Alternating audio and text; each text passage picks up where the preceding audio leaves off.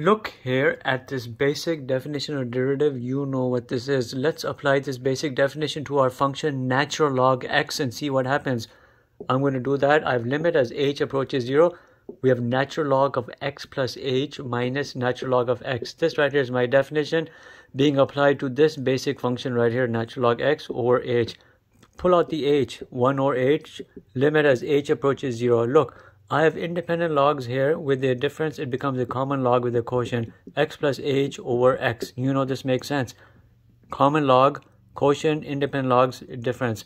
Look here algebraically we'll manipulate this. We're looking at 1 over h limit as h approaches 0 I would have natural log of 1 plus h over x. This right here is equal to that. Algebraically you can manipulate it a substitution is warranted here. If u is equal to h over x, you know h is equal to ux.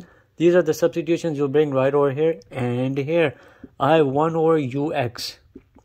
I have limit as u now approaches 0 because the substitution h becomes a u.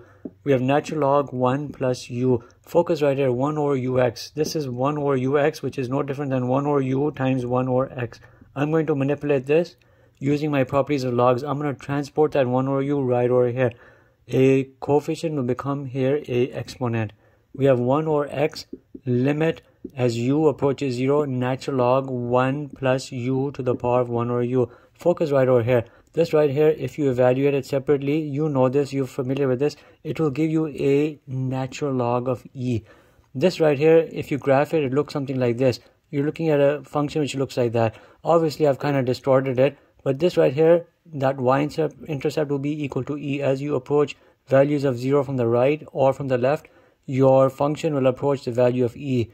And that right there is the outcome of this part right here. Natural log e is equal to 1. What remains is exactly 1 or x. We've established now that the derivative of your natural log x is equal to 1 or x. And this right here is your limit approach to determining this.